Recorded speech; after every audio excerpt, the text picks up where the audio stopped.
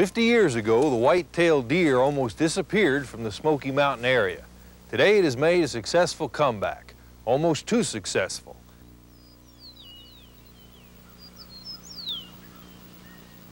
Seeing a white-tailed deer in this pastoral environment is one of nature's simple gifts, but it wasn't always possible. In fact, not long after the formation of the park, deer were so few in number that park officials considered stocking them. If you are a recent visitor to Cades Cove, you know the reverse is now true. Today, the white-tailed deer face a new problem, one of overpopulation. Deer are considered to be a prolific species in that uh, given the right conditions, they reproduce a lot, and uh, they don't necessarily control their numbers uh, based on how much the habitat will uh, support. And so with this reproduction and, and no uh, compensating factors in the way of predators or any kind of control, then they overpopulate their numbers. The density over there, does that make it success, susceptible to disease? Oh yes, most definitely. In this project that we're doing right now, we're studying uh, uh, most interested in a disease called hemorrhagic disease or blue tongue disease. And uh, there was a die-off uh, from that disease back in 1971. Of approximately about 80, 80% of the herd was uh, died during that period.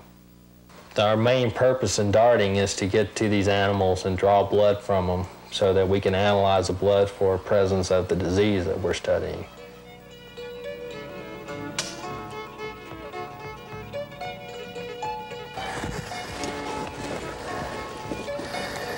And now we're gonna go ahead and draw some blood from them. When we take it back to the lab, we'll uh, analyze the red blood cells for the actual presence of the virus that we're studying. Okay, now we're gonna go ahead and try to age them. You cannot age them from the size of their antlers or their weight or the number of points on their antlers or anything like that. It's the most reliable method is just based on the amount of tooth wear. This is a, a six-pointer? Yeah, this is what's called a six-pointer in the East.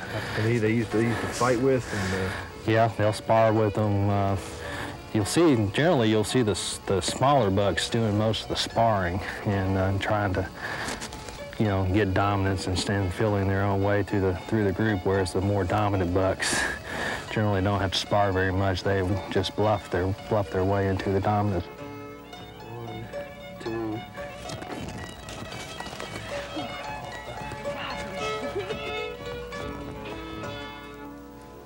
The white-tailed deer, for most of us, is a symbol of a wilderness restored, of a balance, delicate and natural, of a wildness that must be respected.